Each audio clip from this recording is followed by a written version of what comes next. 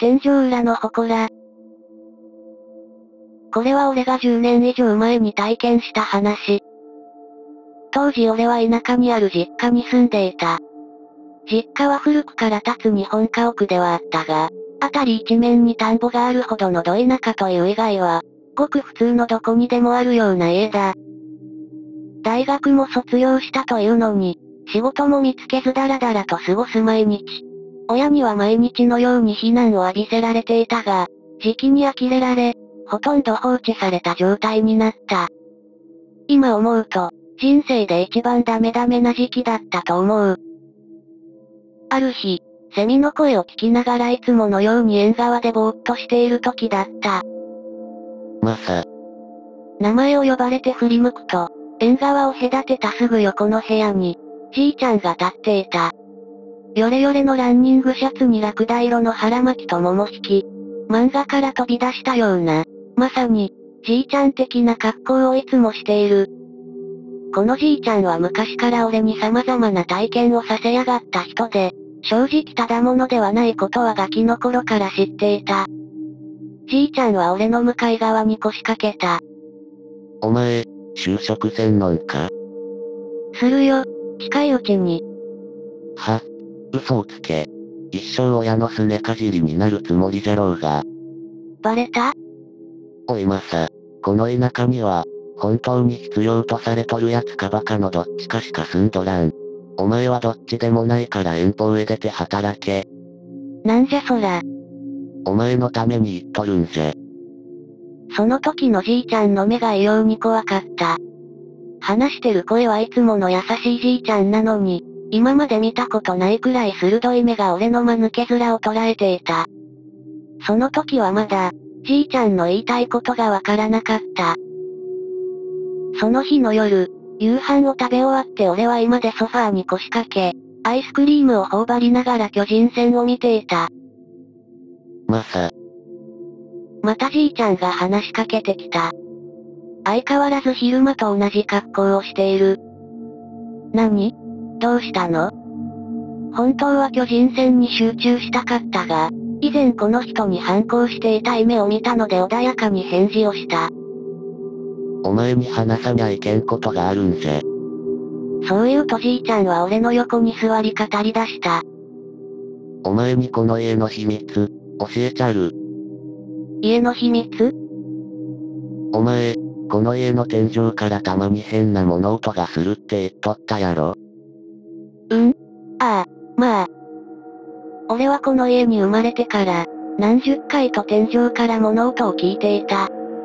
ありきたりなんだが、誰かが全力ダッシュして天井のありとあらゆるところを走り回ったり、風鳴りのような低いうめき声を聞いたり、音、行、とか、変なお経みたいな声が聞こえたりしていて、それは当時もまだ続いていた。でも、音を聞くのはいつも俺一人の時で、両親にこのことを話しても相手にしてくれなかった。じいちゃんは例外だったが、それがどうかしたん？内心ドキドキしながらじいちゃんに尋ねた。あれな天井裏に祀っとるんよ。何を？その時、じいちゃんは、あ。と何かを言いかけてやめた。ああ、名前言ったらいけんけいや、何それ？ちょっと、俺それダメじゃわ。確実にヤバいじゃん。俺の危険察知レーダーがビンビンに反応した。まあ、こっち来いや。じいちゃんの手にはいつの間に持ったのか懐中電灯が2本握られていた。じいちゃんは満面の笑みを浮かべている。すでに俺は冷や汗をかいていた。目的地に向かう足は重い。20年以上住み慣れた家だというのに、半端じゃない心霊スポットに連れて行かれている感覚だった。心の準備をさせてくれと、巨人戦、かっこ例のごとく30分延長、を見終わってから行動し始めたので、確か時計の針は9時半を回っていたと思う。両親は朝早く仕事があるからと、すでに寝室で寝息を立てている。いい気なものだ。息子はこれから死にに行く覚悟でいるというのに。俺たち二人は、元いた場所から縁側を通り、まっすぐ伸びる廊下を歩いていた。じいちゃんは俺の前でピタリと止まり、右側にあった襖を開けた。ここは、俺が小学校低学年の頃まで使っていた遊び部屋。ファミコンしたり、戦隊ものの人形を持ち込んだりして遊んでいた。非常に懐かしい場所だった。今は物置と化している。すると俺はあることに気づいた。じいちゃん、あれ？俺が指さす方向には、漆塗りでもされたような、真っ黒な2枚の木戸があった。俺の記憶では、当時そんなものはなくて、ただの白い押し入れの襖のはずだった。あまりの異様さに心臓が動きを早める。お前がここを使わんようになってすぐ、やり替えた。じいちゃんは当たり前のように言って、震え上がる俺を尻目に木戸に手をかけた。午後、ずーっという音とともに木戸が開いた。中は真っ暗で何も見えない。俺は急に気分が悪くなってきた。そのことをじいちゃんに訴えたが、一言。そのうち慣れる。と言われ無視された。じいちゃんは絶対に鬼だと以前にも増して憎しみを抱いた俺。おもむろにじいちゃんは懐中電灯をつけ、押し入れの天井を照らした。まさ、見てみ。じいちゃんは俺の腕を掴んで、無理やり中を覗かせた。そこには、また不自然に黒く塗られた正方形の扉があった。俺たちはその扉から天井裏へと侵入した。最初はじいちゃんを押し上げて、次に俺がその空間に入った瞬間、先ほどとは比べ物にならないくらいの吐き気と悪感に襲われた。空気が重いなんてもんじゃない。やばい。これほどまでに命の危険を感じたことがないくらいやばい。汗が干上がり、口の中がパサパサに乾く。どう考えても尋常ではない空間。こんなところで平気な顔をしているじいちゃんがすごいと思った。じ、じいちゃん。俺ダメ、もうダメ。ほんま勘弁して。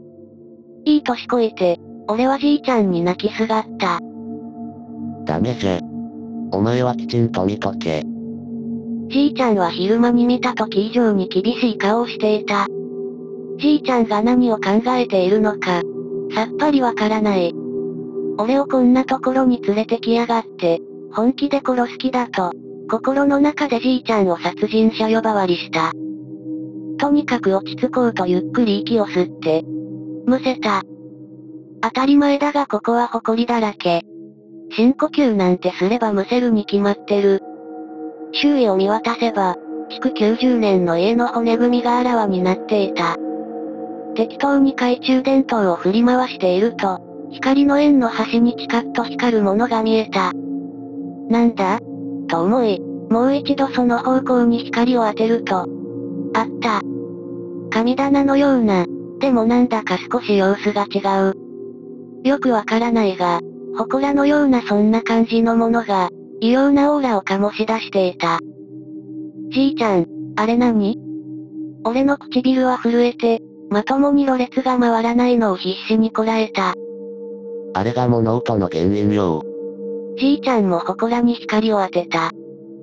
が、急にじいちゃんは驚いた顔をして、俺から懐中電灯を奪い取ると、二つともスイッチを切った。目の前は闇に包まれた。じいちゃんはかなり焦っている。じいちゃん。俺は半ばパニックに陥っていた。し、黙っとれ。じいちゃんが小声で強く俺に言い聞かせた。まさ、今から出口に行く。それまで息を止めよ。は？息、と、止める？?AK 言った通りにせえ。出口に着くまであれから目を離すなよ。あれとは祠のこと。だがわけがわからない。なんで息を止めながら祠を見て出口まで向かうんだ？その時はパニクりながらも言われた通りにした。この時は暗闇に目も慣れてきだしたから、大体の輪郭は見えている。息を大きく吸い込んだ。かっこもちろんむせた。すぐ、異変は現れた。祠の扉から、変な影のようなものがにゅるっと出てきた。それを見た俺の動きは一瞬にして固まった。もう思考回路はショート寸前。よく見ると、それは人の形をしていた。暗闇よりも暗い色。動きは鈍い。左右に揺れたり、突然倒れたかと思うと、四つん這いになって雲みたいな動きをしたり、俺の文章力では表しきれないほど気持ち悪い動きをしていた。初めて見るそれは、恐怖どころか興味を抱かせた。だが、危険なものに変わりはない。明らかにこの世のものではなくて、俺の足はガクガク震えていた。それから目を離せないでいると、じいちゃんが俺の服の裾を引っ張って、出口まで後ずさるように促した。幸い奴は、こんな近距離にいる俺たちに気づいていない。多分息を止めるように言ったのは、こいつに気づかれないようにするためだったんだろう。俺たちはなるべく足音を立てずに出口にたどり着いた。出口からそっと降りる時まで奴から目を離せないでいた。奴が動くたび、天井裏で不気味な足音が鳴り続けていた。俺は部屋に足をつけた瞬間、じいちゃんを置いて今まで猛ダッシュした。電気をつけて、テレビのスイッチを入れて、ついさっきまでいた異次元ワールドから日常へと、必死になって逃げ込んだ。すぐにじいちゃんが今にやってきた。見たろう、すごかろうがあれ。じいちゃんは俺の怖がる姿を見てご満悦という表情をした。あんなものを見せられた俺はたまったもんじゃない。あれに気づかれてたら、絶対に命の保証はなかった。間違いない。絶対そうだ。なんなんよあれ。じいちゃんほんま何がしたいん？興奮した俺は、切れながらじいちゃんに言った。ガハハハ。あれな、先祖に恨みを持っちょる霊で、わしも詳しくは知らんのんじゃが。あまりにも危ない系って、うちの先祖の霊媒師が祠に祀って、あれを天井裏に閉じ込めとっての黒い襖は結界みたいなもんよ。安全のために近くのお寺さん。神社だったかも。に頼んで作ってもらった。名前言ったらいけんのは、名前を聞いた人があれに疲れるからなんじゃ。疲れる、イコール死と隣り合わせ。想像を絶する言葉に、俺は気が遠くなった。しかし、そこで疑問が生まれた。でもじいちゃんは、名前聞いとるんじゃろ？それでなんで無事なん？秘密。その後何度も理由を聞いたが、何も教えてくれなかった。翌朝、俺はまた縁側にいた。昨日のことは夢だと思うことにした。うちにあんなものがあるわけがない。そう言い聞かせようとしていた矢先、じいちゃんがまた俺の向かい側に座った。あまり見たくない人物だというのに。じいちゃんおはよう。おう、おはよう。じいちゃんは俺を見るなり両膝に手を置いた。そして、言った。まるまるまるまる。うん？今、じいちゃんは何を言った？え？じいちゃん。まるまるまるまる。俺はすぐにその言葉の意味がわかった。間違いない。あれの名前だ。昨夜のおぞましい出来事の記憶が一気に蘇る。夢などではない。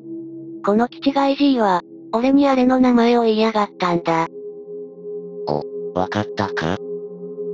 安心せえ。この家におらんかったら疲れんけあれはこの家からは出られんのんよ。などとのんきに笑い続けた。その後すぐに東京で仕事を見つけて、速攻で家を出たのは言うまでもない。ちなみにじいちゃんはその2年後に亡くなりました。怖いと思いながらも、葬式に出るため実家に帰ったんだが、別に何も起こらなかった。もしかしたらあれは、じいちゃんが俺を家から追い出すために嘘をついたのかもしれない。だとしても、あの夜天井裏で見た光景は嘘じゃない。確かめるつもりはもうとうないが、今でもあの天井裏の祠は存在しているはずだ。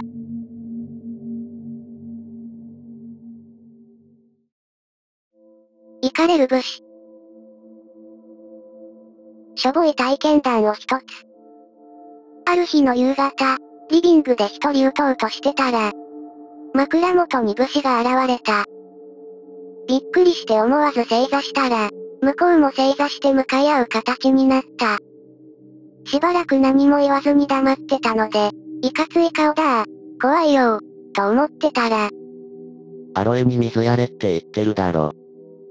あと、電車の中で寝るなって何度言ったらわかるのだ。と言って、消えた。正座したしその後電気もつけたから、夢じゃないと思う。確かに家には母が放置して枯れかけているアロエの鉢があるし、私は電車で寝る癖がある。後日、気になって母方の家を訪ね、先祖のことについて聞くと、あの武士の着ていた鎧と、特徴的な形をした兜と槍が出てきた。今では、アロエにちゃんと水あげてます。電車で寝るのは、まあ控えています。しかし、なんでアロエ？まさか武士の口からアロエと電車っていう単語を聞くとは。で、実はつい最近、またあの武士が現れた。仏間で昼寝しようとしたら現れて、また正座して向かい合って。里芋食わんか、バカ娘。と、怒鳴られた。里芋嫌いでさあせん。バカ娘なんて初めて言われたよ。しかし私は顔立ちは父方の方なんだがね祖父母は武士を見たことないらしいし。なんで私のところへ？